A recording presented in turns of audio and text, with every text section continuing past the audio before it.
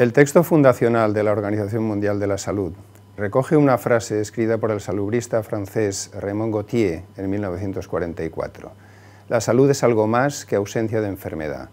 La palabra salud implica algo positivo, es decir, bienestar físico, mental y moral. Esa es la meta que debemos alcanzar, aunque vaya más allá de las posibilidades de la medicina curativa y preventiva. Asumir ese principio básico supone no solo comprender que la enfermedad es pérdida de equilibrio orgánico, es también un problema psicológico, una fractura biográfica y una alteración en el rol social de la persona enferma.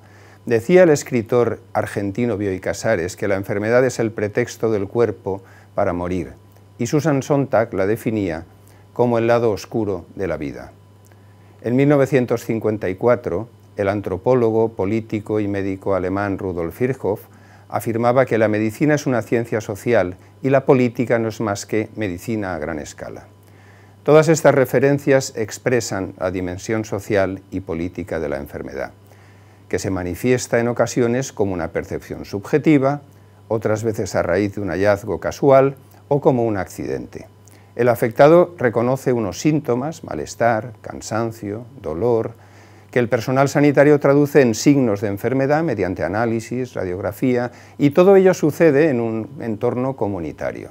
En función del estado del enfermo, él decide, preserva su vida normal o asume el rol de paciente y sigue un itinerario terapéutico visitando un centro de salud, suspendiendo quizás su actividad laboral.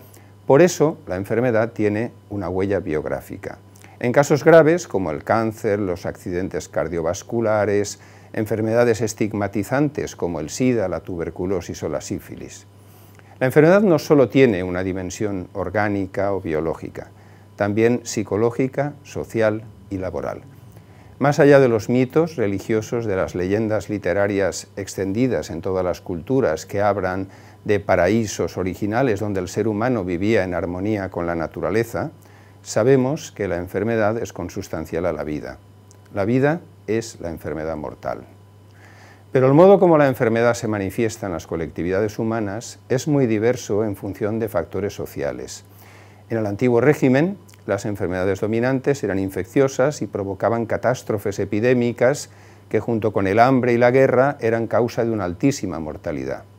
En cambio, en nuestras sociedades postindustriales la mortalidad es más baja y es el cáncer, los accidentes cardiovasculares, el tráfico, las enfermedades víricas y otras por deterioro medioambiental y los hábitos como el tabaquismo, la polución, las adicciones o los trastornos mentales constituyen el principal problema.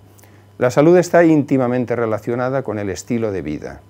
La dieta, el ejercicio físico, el alcohol, el tabaco, los medicamentos son factores que se añaden a la herencia biológica. Por eso la información y la educación son esenciales pero también influyen en la enfermedad las condiciones de vida derivadas del nivel social, la profesión, el clima, la cultura, que son distintos en las sociedades mediterráneas, en Escandinavia, en sociedades asiáticas o en África. Además hay regulaciones que protegen la salud, restringiendo el consumo de drogas, el tabaco, el alcohol y otras que establecen que en las condiciones de los lugares públicos, las industrias contaminantes, etc. Todo ello define un contexto social más o menos saludable. El artículo 25 de la Declaración Universal de Derechos Humanos proclama el derecho universal a la salud. Toda persona tiene derecho a un nivel de vida adecuado que le asegure, así como a su familia, salud y bienestar, en especial alimentación, el vestido, la vivienda, asistencia médica y servicios sociales. Es consecuencia de un proceso histórico en el que desde finales del siglo XIX las luchas emancipadoras de los trabajadores y las mujeres, el reformismo social, dieron respuesta política al derecho a la salud. En núcleos industriales, las organizaciones obreras promovieron iniciativas, sistemas de igualas, sociedades de socorros mutuos, sentaron las bases de la participación del Estado y la Administración en la asistencia sanitaria. El Estado prusiano de Bismarck creó un sistema de Krankenkassen o cajas de enfermos, la Rusia zarista, un sistema para atender a los campesinos en zonas rurales, eran los primeros pasos del llamado Estado providencial que, superando la idea de caridad y beneficencia para los pobres, trataba de garantizar el acceso a la salud y a la protección social frente a la pobreza y el desamparo. A partir de la Segunda Guerra Mundial, los sistemas nacionales de salud trataron de universalizar la atención sanitaria en el marco del estado de bienestar. Durante la Guerra Fría se configuró una pluralidad de modelos. En Europa Occidental, Canadá, Japón, Australia o Nueva Zelanda se crearon servicios públicos financiados con fondos estatales. El National Health Service británico fue pionero y un modelo que se imitó. Sin embargo, en Estados Unidos la atención sanitaria se basa en un contrato de servicios con seguros privados y el Estado solo interviene en el llamado Medicaid para los excluidos o el Medicare, asistencia para pensionistas. Durante la Guerra Fría, el bloque socialista desarrolló modelos estatales que se hundieron con la crisis de los países comunistas a principios de los años 90, provocando en muchos casos un caos sanitario.